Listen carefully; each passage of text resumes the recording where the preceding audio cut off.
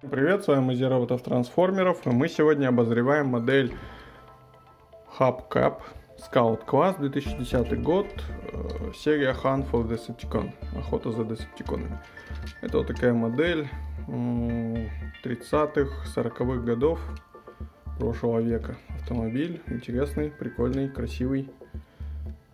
Все-таки есть что-то такое в дизайне этих старинных автомобилей. Причем, насколько я знаю, у них толщина металла была такая, что они как броневики были. Да, это у нас автобот. Причем позиционировалась эта серия трансформеров как охотники, поисковики, каких-то артефактах на далеких планетах. Вообще очень своеобразная была позиция фильмов, очень много там смели все в одну кучу, и попытались преподнести в каждом новом фильме какие-то свои идеи. Многие идеи хорошие они отбросили, многие нехорошие оставили. Так, что же у нас по трансформации? Для начала руки. Раздвигаем их в стороны. И немножко вперед. Затем здесь вот у нас Подождите, подождите, подождите. Да. Вот так вот. Нога выходит. И вторая нога. Сейчас мы их выровняем. Потом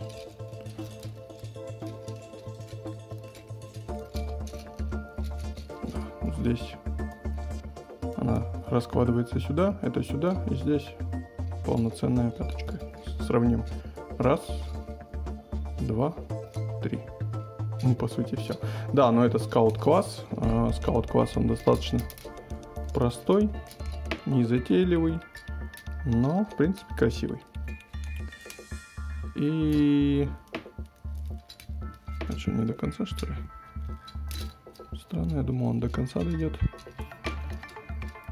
Странно, почему не до конца? Как-то бы Идеально было бы до конца. Но нет. Ну, на нет и сюда нет. Так. Давайте попробуем его поставить. Идет он без какого-либо оружия. Да, автобот трансформируется в автобот. Да, вот такая модель. Ну, по-моему, симпатично выглядит. Голова есть, руки есть, тело есть, ноги. Ноги неплохие. Так, что у нас? Руки подвижные. Ball joint.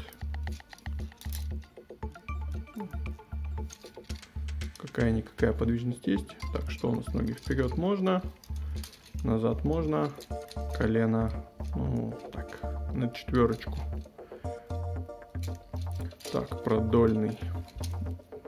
Не сильно. А почему не сильно? Еще чуть-чуть, а еще чуть-чуть. Нет, все-таки, если приложить усилия, то он может и продольно тоже раскладывать. Вот такая вот модель из 2010 года. Серия Hunt for Decepticon. Я бы сказал, а, серия трансформеров 2010 была во многом интересно. Они постарались и развить линейку трансформеров из предыдущей части, это Revenge of the Fallen или Месть Падшего, и запустить линейку трансформеров Generation, то есть поколение 1. А, были показаны образы и в комиксах классик, и комиксах а, Generation 1, и мультсериалах.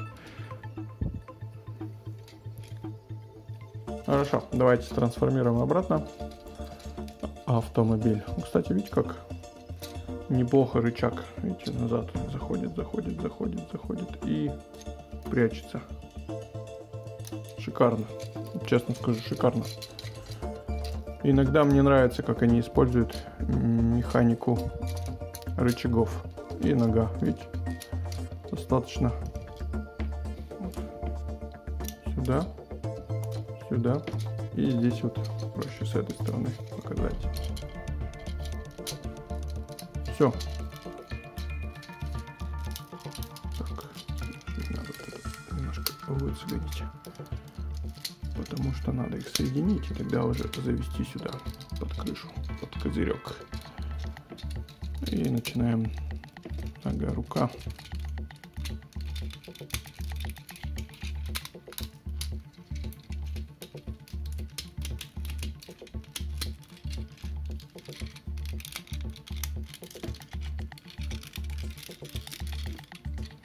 Все, собралось. Собрался трансформер.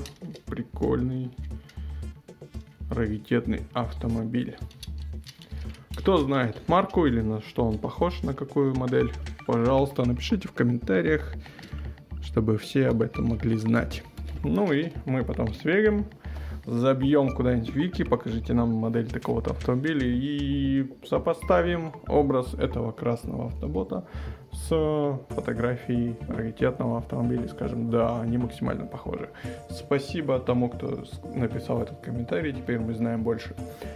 На этом давайте завершать обзор этой интересной модели с 2010 года. Подписывайтесь к нам на канал, ставьте лайки, приезжайте в музей. Если можете, становитесь спонсором музея. А если у вас есть старые и уже ненужные игрушки, или может быть нужные, но вы готовы их подарить музею, обязательно это сделайте. Они будут получены, и мы их будем ценить, сохраним и дадим возможность будущим поколениям увидеть и узнать о тех или иных трансформерах, выпущенных в предыдущие года. Всем до скорых встреч!